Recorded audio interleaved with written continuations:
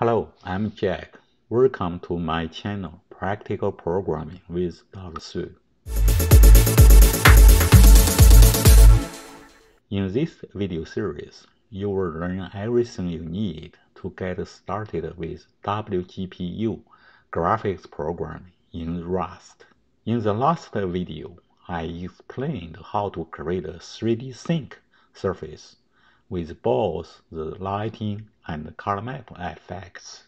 In this video, I will illustrate how to use the color map model to create a 3D peak surface as shown here. This is uh, the definition of the peaks function. It looks much more complicated than the sinc function discussed in the last uh, video.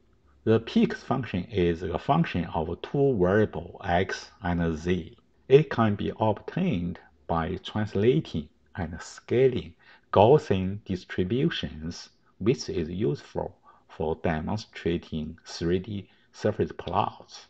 Here, we will use the git tool to clone the source code used in the last example, and then make corresponding changes to that source code to build the project used in this video.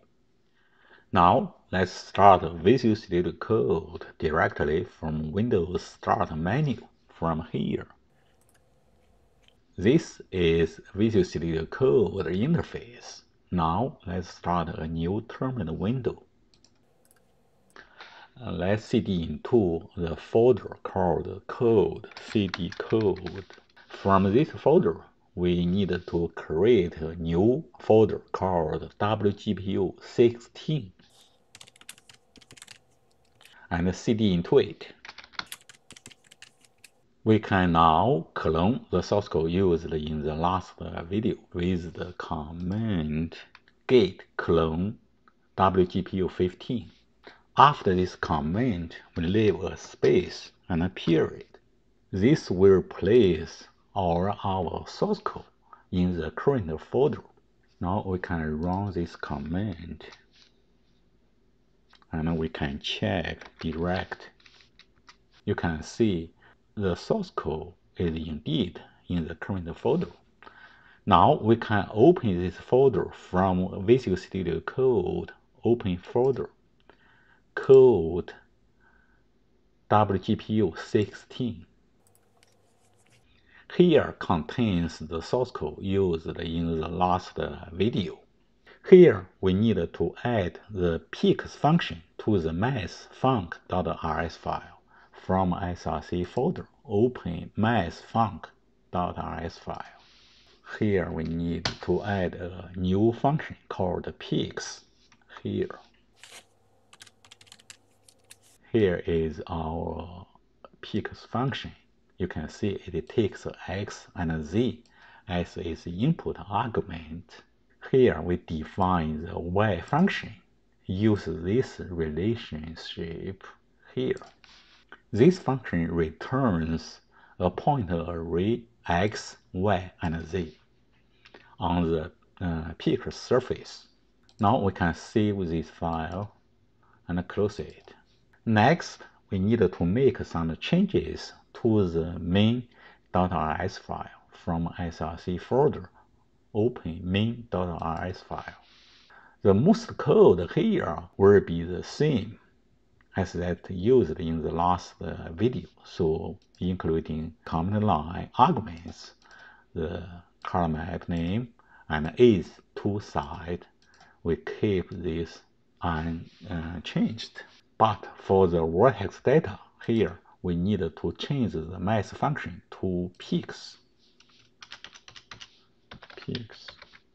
And also we need to change the data range from minus 8 here x minimum to 3 and here also 3 z minus 3 z maximum is 3 and then we also need to change the nx and y we keep the same we don't need to change the scale we also keep to 2 and uh, aspect we also keep the same.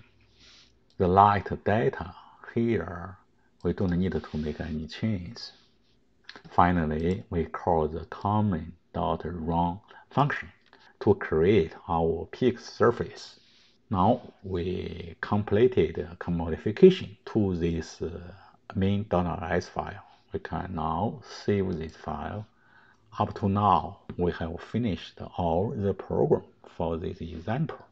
Now open a new terminal window. We can run this application use the command cargo run.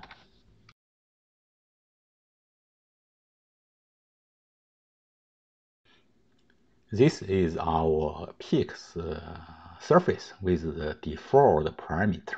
You can see this is color map with jet and with uh, this surface has the lighting for the front face and the back face for the both sides.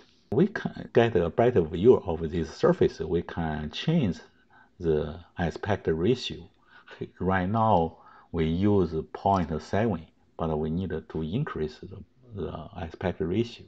And also we change the, the parameter for the lighting. We want to do one side lighting. Okay, close this window and change it to 0.9, for example. We increase aspect ratio on the y direction. So we can now save this file and then rerun the program and use different color map HSV for example and set the is to side parameter to zero. This means we want to have the one side lighting for our surface. So run this command. You can see we get a better view because we increase aspect ratio to 0.9 and we change the color map to the HSV. You can see it's a different color map. And also we only have one side lighting. You can see only on the front side we have diffuse and specular lights. But on the back, we only have uh, ambient light at the back uh, face has no diffuse and uh, and specular lights. Now you can also change to um, other color maps because we have defined 11 color map names, so we can choose from. So close this window and run use a different color map. For example, we use the winter and uh, we want a two side lighting.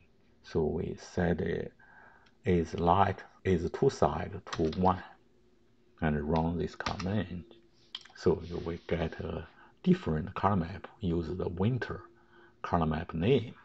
You can see the back also has diffuse and specular lights.